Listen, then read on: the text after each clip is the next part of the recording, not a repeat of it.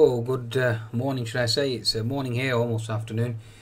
This is uh, Adil Fazal, market analyst at CFDs.com, bringing you a review of the US markets for Friday's trading session, or NFP day, the 2nd December 2016. Please be sure to visit Trade Signals, signals and market updates from leading providers.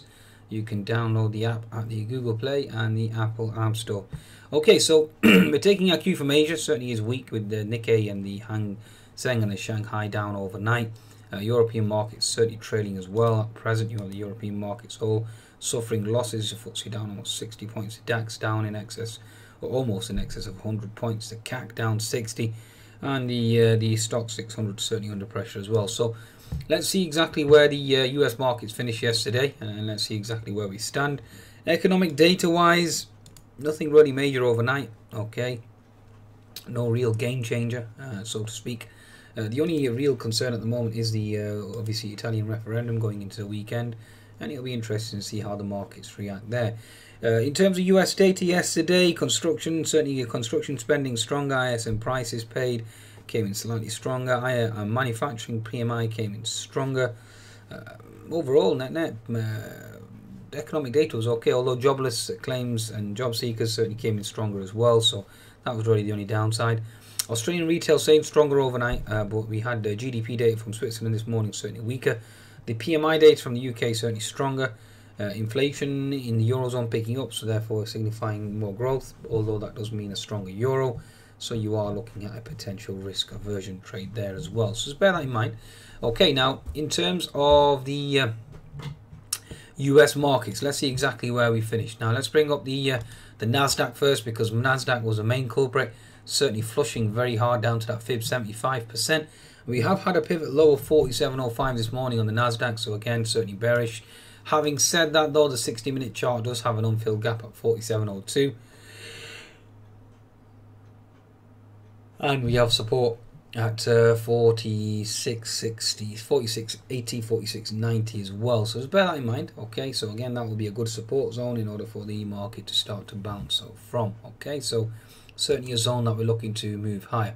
In terms of the uh, the actual, um, uh, shall we say, semiconductors, semiconductors certainly hit hard yesterday, very very hard. Okay, as you can see here, uh, an impressive flush from the pivot low to high. We've uh, flushed almost 75%. If the semiconductors continue to flush, then you do have support below, so just bear that in mind. 60 minute chart, semiconductors, you have actually closed the gap here, so you are looking for an argument to uh, to potentially pop. Okay, so just bear that in mind. Certainly a strong argument for a potential move higher. Okay, so uh, certainly looking for a move and support zone in this in this area. Okay, so gap fill support, and then we have multiple supports below, and therefore that will lead me to a bias of being bullish on the Nasdaq. The biotech certainly flushing, although you do have gap fill below, so just bear that in mind. Certainly still remain weak. Uh, there is gap fill here. Okay, previous resistance equals support here. So again, certainly an area or a zone where you would actually attempt to go long. So just bear that in mind, okay, in terms of the uh, the actual uh, biotechs. Okay, so looking for a move higher. Okay, so again, Nasdaq conclusion from my understanding, the area or zone at 4700, 4690 is a buy zone, and I'll be looking to potentially go long. Now let's bring up the Dow Jones. Dow Jones, no real concern, even with the topping tail the day before, we still continue to push higher.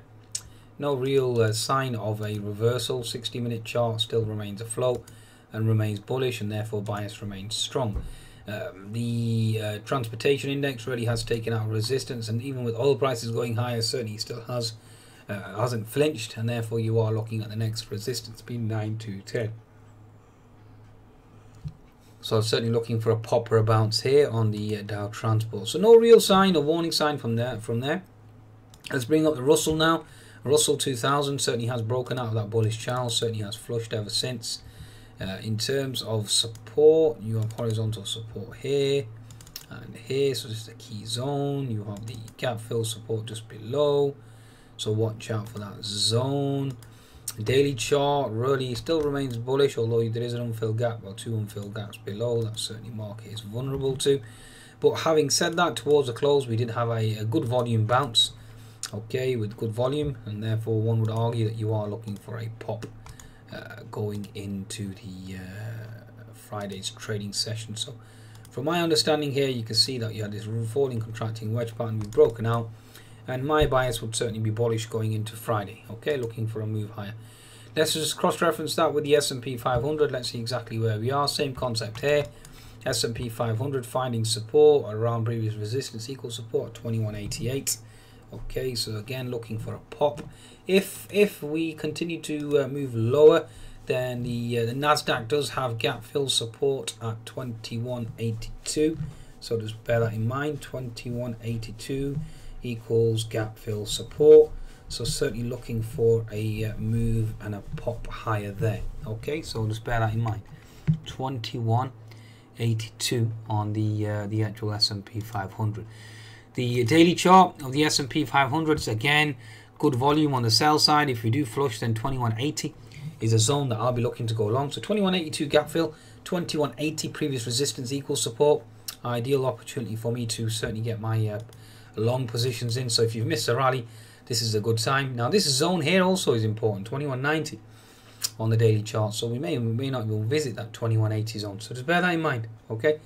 Bear that in mind. Although having said that, it is NFP, so expect volatility on either way, on either side.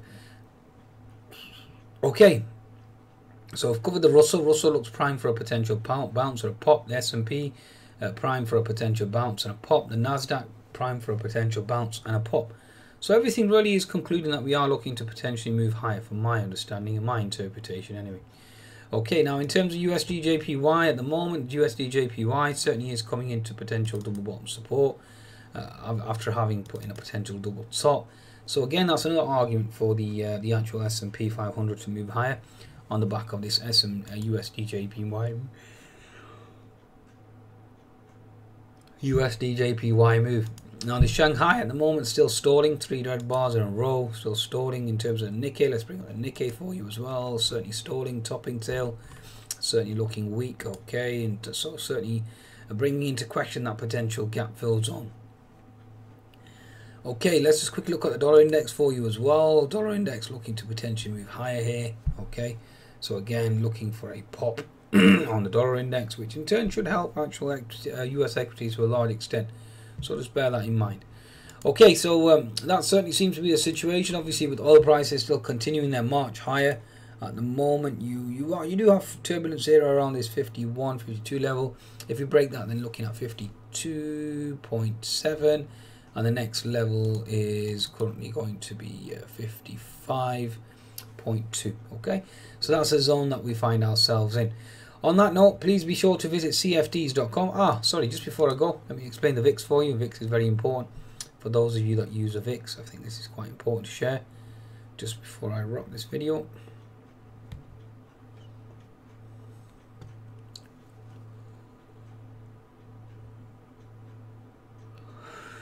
There we go. Okay, so the VIX. So where are we in terms of the VIX? Okay, so daily chart, the VIX, an impressive thrust higher. Okay, uh, if we do continue to move higher, then that's your level of resistance. Previous support equals resistance. Looking at the smaller time frame now, looking at 60 minute chart, certainly seems to have pushed higher. Okay, close a gap. Okay, so that certainly is the situation that we find ourselves in. So certainly pushed higher, close the gap, and now looking for resistance. So any any uh, zone around the 24.6 you are looking for the VIX to pull back, and that should obviously help the uh, equity markets move higher. Okay, so that's uh, that's a good summation. Please be sure to visit cfds.com for your trading needs and take advantage of that bonus.